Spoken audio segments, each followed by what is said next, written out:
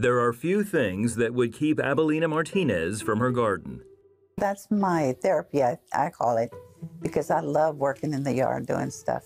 So I take my Bible out there and just read on it, you know, and admire how God does.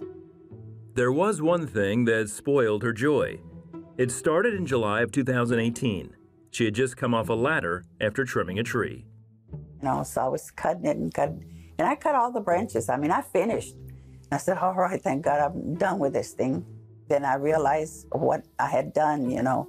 What she had done was injure her shoulder. I was just hurting bad. You know, I thought it was just something that would go away. But then by the next day, you know, I thought, no, no, no, uh, there's more to this because it was hurting more, you know, and more. Finally, after a couple of days, she went to her doctor. So I thought maybe I pulled something. And sure enough, he said, well, it's just a, a pull muscle. So I thought, oh, well, that's why it hurts so bad. He said, yeah, it'll be okay. So he gave me some relaxers or whatever. He says, once you start taking this, you'll, you'll be fine in a week or so.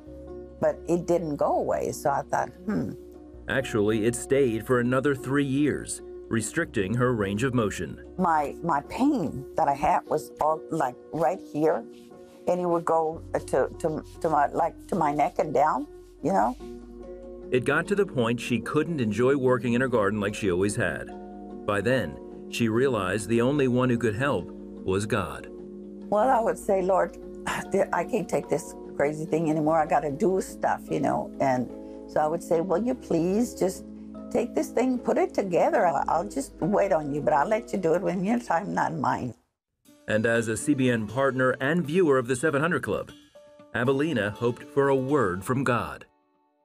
Then one day, while she and her husband Vic were watching the show, Pat had a word of knowledge about someone's shoulder. Just reach out and touch that shoulder and move it, and it's right back in place, and then all the pain will leave in Jesus' name. Ah, that's me, that's me, that's me. And I started, you know, just moving my, my arm all excited and everything. Praise God. Yes. Today, Abelina is still pain free. And I, I believe, you know, God has something special for each and every one of us.